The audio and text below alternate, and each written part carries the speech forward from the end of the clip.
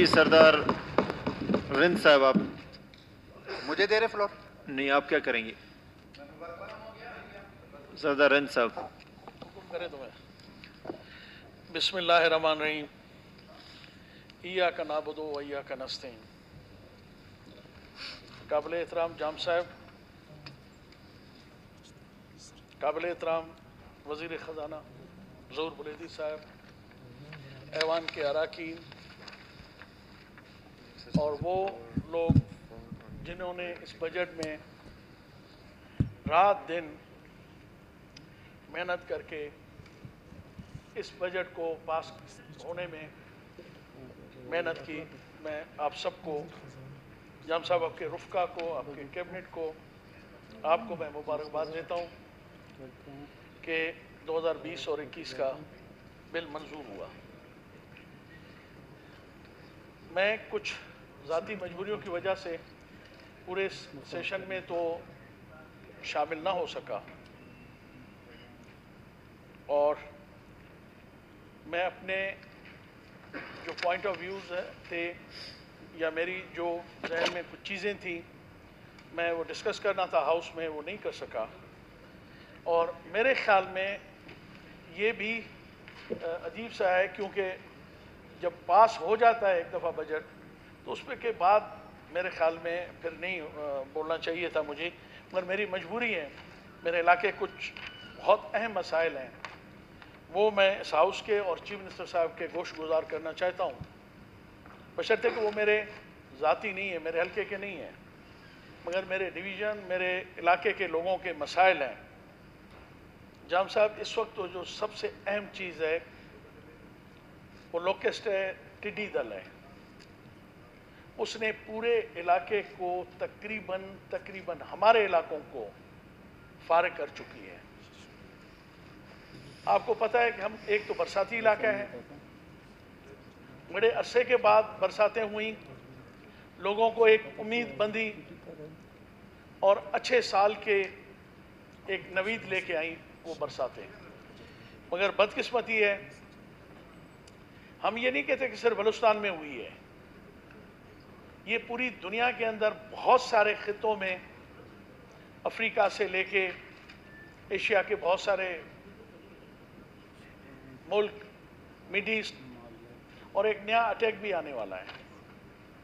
जाम साहब को याद होगा कि हमने जब एक मीटिंग में, कैबिनेट में बैठे थे, उस वक्त भी मैंने अर्ज़ की थी कि जाम साहब, मेहरबानी करके आप ख़ुद आपका डिपार्टमेंट और ख़ास तौर पर मरकज़ी हुकूमत क्योंकि ये उनका मैंडेट है। मेन मैंडेट उनका है।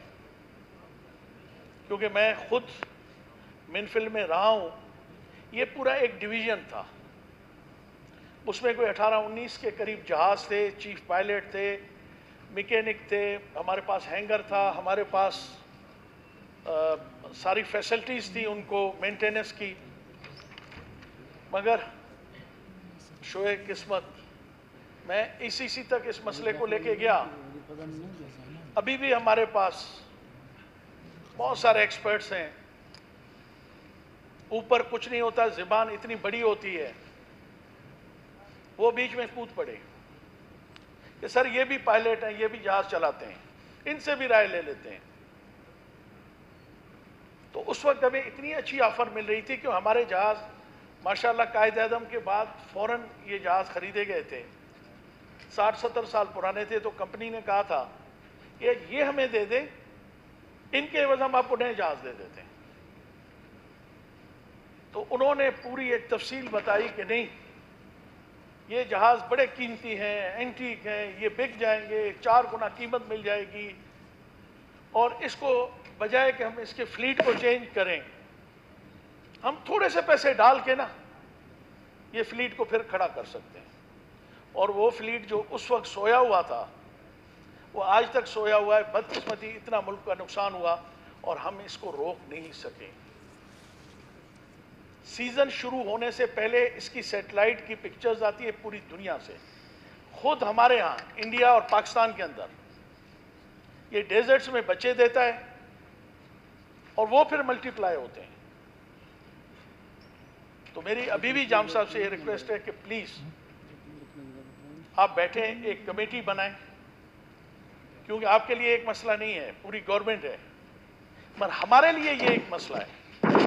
जो छोटे फार्मर्स हैं काश्तकार हैं ज़मींदार हैं जो, जो डिपेंड इस पे करते हैं उनके लिए बहुत अहम है। तो मेरी रिक्वेस्ट है कि इस बजट के बाद क्योंकि थोड़ा सा रिलैक्स होंगे चीफ मिनिस्टर साहब उनको थोड़ा सा टाइम मिलेगा तो प्लीज़ एक कमेटी बनाएँ।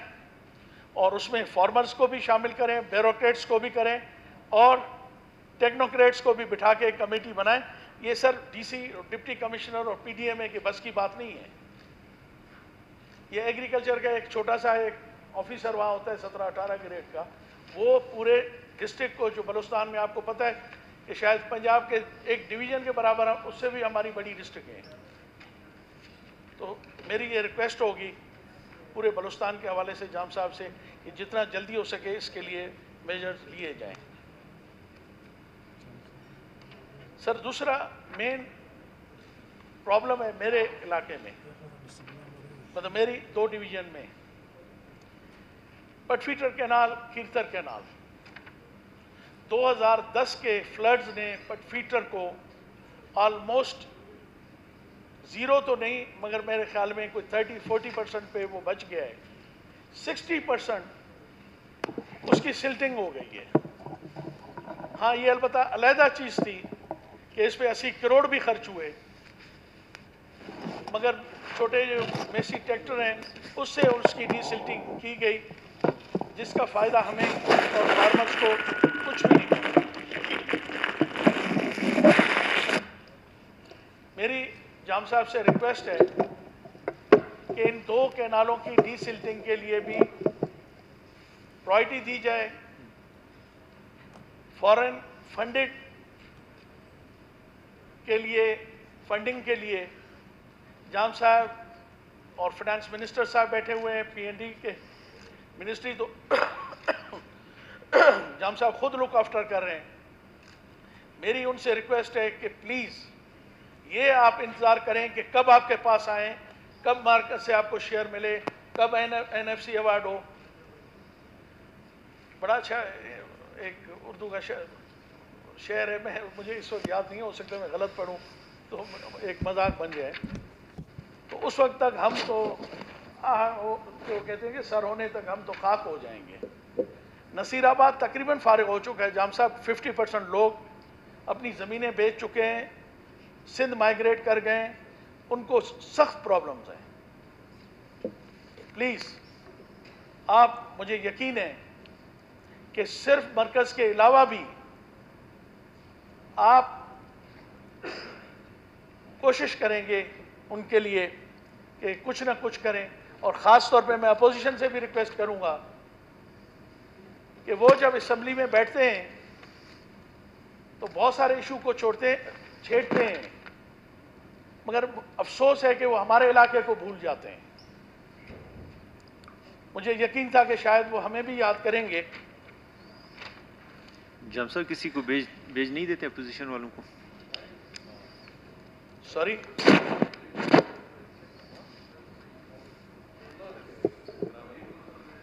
सलीम वज़न के हिसाब से बराबर है। सलीम सलीम और आरिफ जान जाएँ वैसे भी जोड़ी है। सर, ये दो अहम प्रोजेक्ट हैं।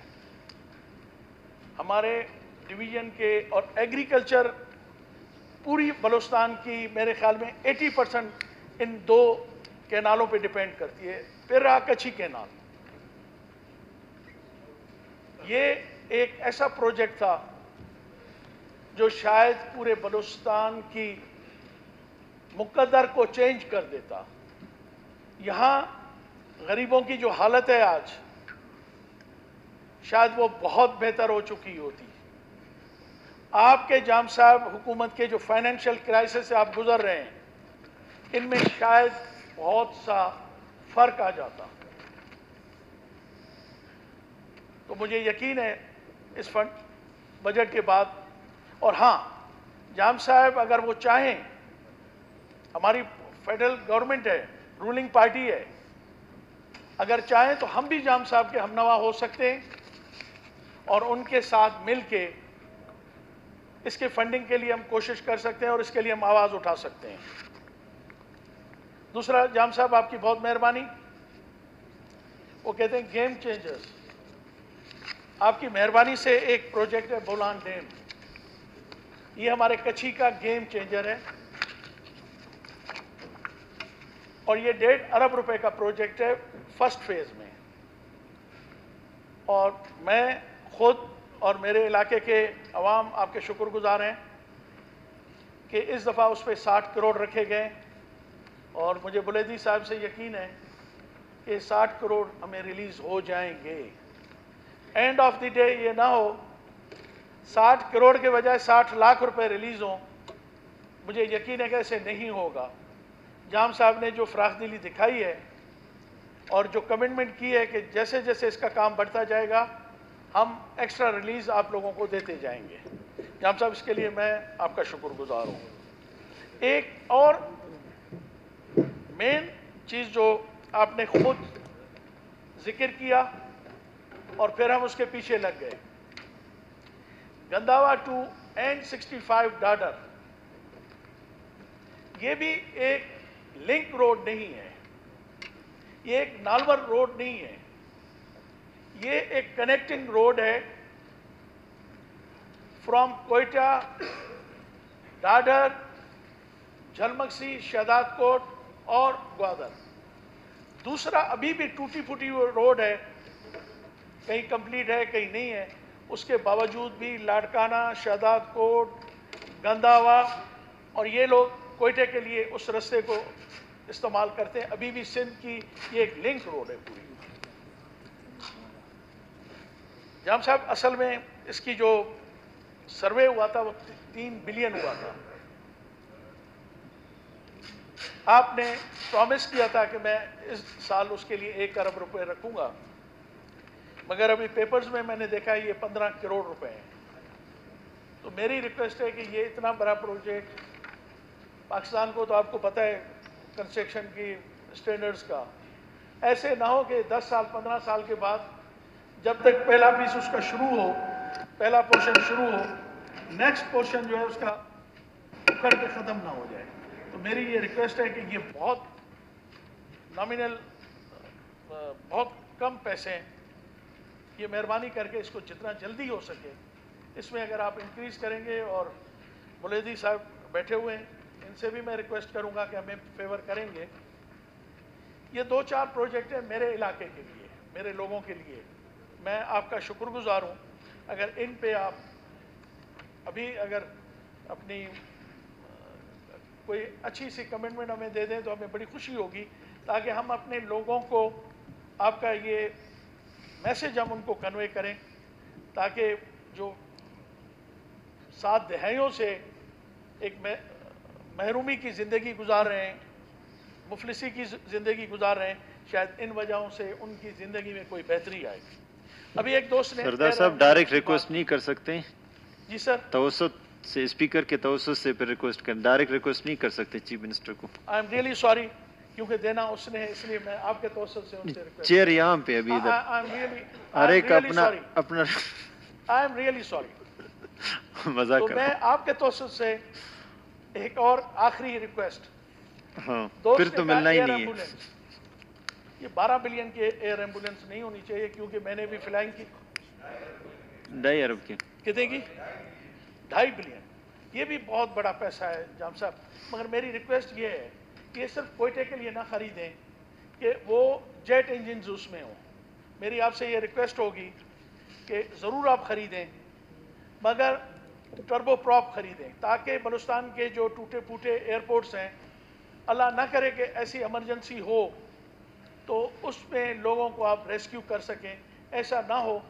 अभी भी आपका एंबुलेंस जो आपकी एंबुलेंस कह रहा हूँ, आपका जहाज़ भी एंबुलेंस का काम कर रहा है तो मेरी आपसे रिक्वेस्ट है कि आम आदमी को उस पर एक्सेस हो और नॉमिनल उसके चार्जेस हों, ताकि हर आदमी, अल्लाह ना करे उसको एमरजेंसी हो, उसको एक्सेस हो इस एंबुलेंस तक।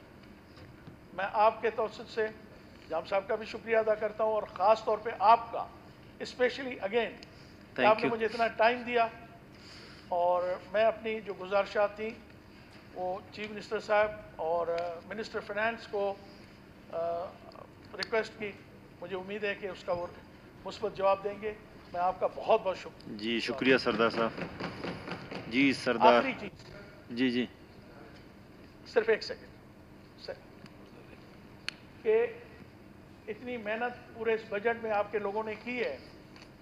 मेरे अनाउंसेस और तनख्वाह मिला के कितने? पाँच छः लाख बनते कितने बनते एक मेंबर की कितने बनते हैं साहब मेरी जितनी पे है ग्रेड वन से लेके सिक्सटीन तक, आज मैं इसम्बली के जितने लोअर ग्रेड के वर्कर हैं ग्रेड वन से सिक्सटीन तक, मैं उनको अपनी तरफ़ से तोहफे के तौर पे पेश कर रहा हूँ। Thank you